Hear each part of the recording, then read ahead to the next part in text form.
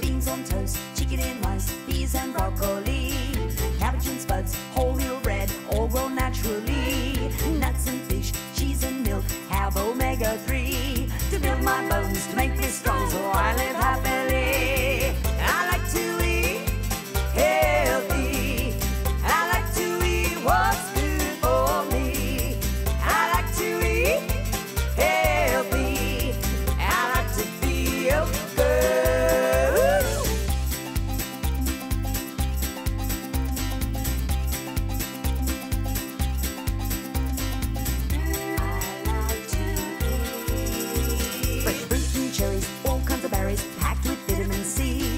And dates and raisins are great to make you healthy.